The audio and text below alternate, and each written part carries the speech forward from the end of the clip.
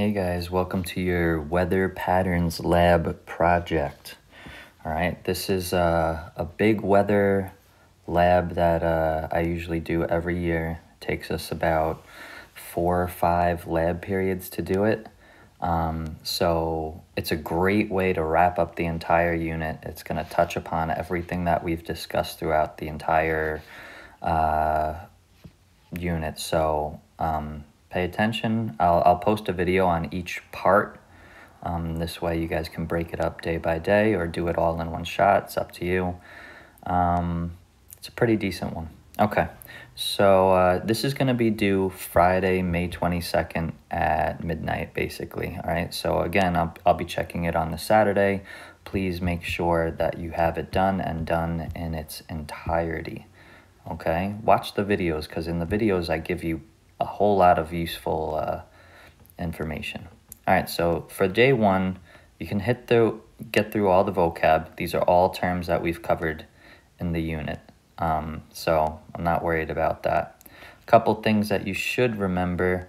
These are a couple of the major, major points that we've discussed, especially our little chart uh, comparing low versus high pressure. Um, you need to know all of this all right? Um, we'll come back to it. We'll answer a whole bunch of questions on it, but just remember this. Winds are caused when there's pressure gradients, meaning pressure differences. The closer the isobars, the stronger the winds, the more spread apart.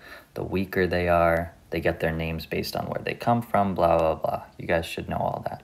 All right, so we are going to focus on this today, day one. So day one is just talking about map A.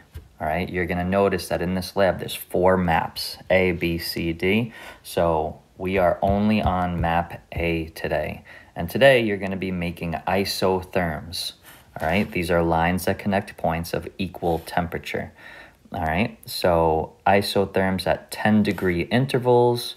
And here are your rules. All right, so we're gonna be making a line for 70, 60, 50, 40, 30, and 20.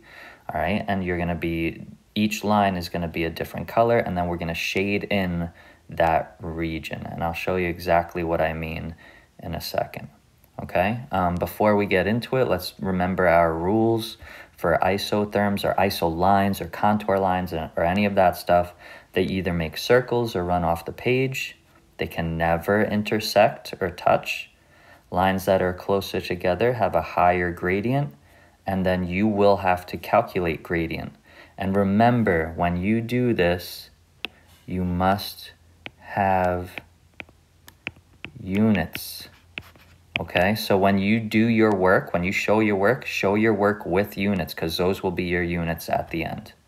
Okay, lastly, in our station model, the top left is the temperature. So we are going to be looking at this map and only the top left number is the one that we are paying attention to. Okay, so let's get into it. So here is our map A. Okay, so we're still on day one. Again, take a look, map A. So make sure you guys are working on the correct map too. If you're on the wrong map, that's gonna suck. Okay, so little daunting, right? There's a ton of uh, weather models up here, but we are only paying attention to temperature, right? Only the top left of these weather station models. So take a look. Let's start at, um, let's pick one in the middle because it'll probably be easier to find. Let's pick, um, let's pick 40. All right, let's start with 40. And if you look at the, the worksheet, it says 40 is going to be done in green. So I'm going to go to green. And now I'm going to find all of the weather station models that have a 40. So here's a 40, 40, 40, 40, 40, and I believe that is it. So now, if you look at this, this is not going to make a circle, right? You can clearly see that it's going to just run off the page. So now I'm going to connect my points. I'm going to come across like this, like this, Remember, you have to run in between the numbers that make sense. So in here, I have to go above Detroit, right? Because that Sault Ste. Marie is 33 and Detroit is 44. So 40 is going to exist in between that. And then when I run off the page here, I have to go in between Boston and New York, like that. Okay? Now I'm going to label it just to make my life easier later on. Okay, so that's my 40 line. The next one, let's do 50. 50 is going to be done in yellow. So we're to do yellow here. Again, find all your 50s. So there's a 50, there's a 50, and I think that is it. There's only two, so you're to be doing a lot of dancing here. Okay, so you're to start by running off the page here. You got to go in between Boise and Salt Lake City. Coming above Denver. You're going to hit Kansas City. Over here, you got to go above Cincinnati.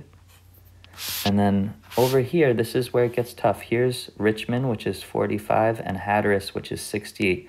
That means in between these two cities, you have to fit a 50 and a 60. So be careful later. So we're going to go like this. Okay, so that's to be my 50, and I'll do a 60 with you just to make sure you guys get it, because that's the toughest part, that little section. So here's 60. I think 60 is one of the tougher lines. So here's 60. Mm, Galveston's a 60. Cincinnati is a 60. And that's it. So we got to move quite a bit here. So here's 60 coming in. We're going to be running down. Got to go below Roswell, right? Because 60 exists between 57 and 68. Go to Galveston. Then you're going to run it up to Cincinnati. And then right here, you have to still go between Richmond and Hatteras, but make sure that you do not touch that 50 line. All right, like that.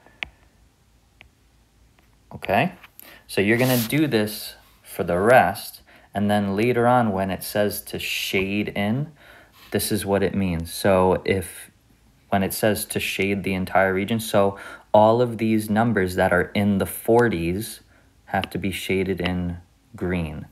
So take a look. If this is green, I'm going to the highlighter tool.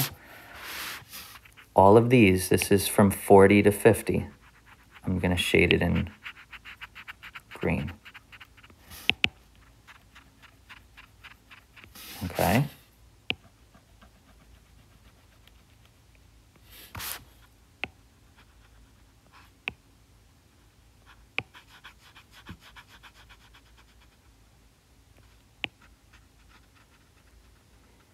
So that everything that is in green is a temperature that is in the 40s. And then over here is all the temperatures that are in the 50s. All right, you guys get the point, I'm sure.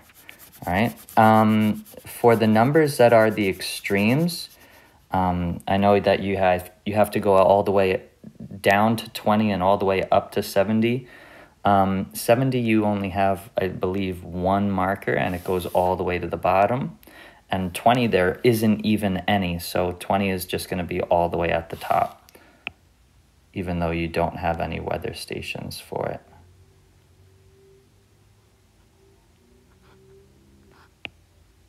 Okay, so then you guys can uh, handle the rest. As far as, so that's how you're going to do this map. As far as the questions, this part, you are going to use your reference tables, right? The little uh, thermometer converter. Uh, number two, look at your map. What's the temperature trend? Is it increasing or decreasing as you move from the north to the south?